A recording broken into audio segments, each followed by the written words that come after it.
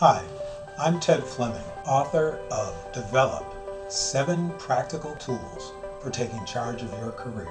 And Tool 5 is the Leadership Preferences Survey. In my work with clients, I've identified four distinct styles for moving an organization forward. The first is a vision centered leader. And what they do is they focus on communicating a compelling vision for where they want to take the organization. Next is the customer centered leader. And they focus on creating products and services that meet client needs. The third is an organization centered leader.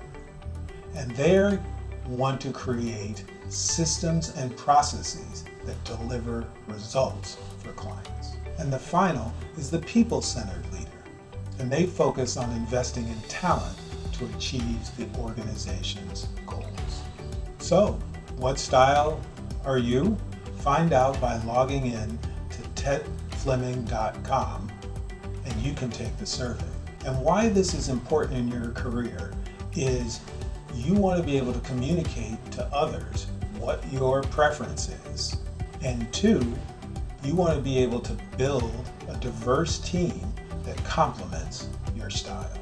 So log on to www.tedfleming.com and take the survey.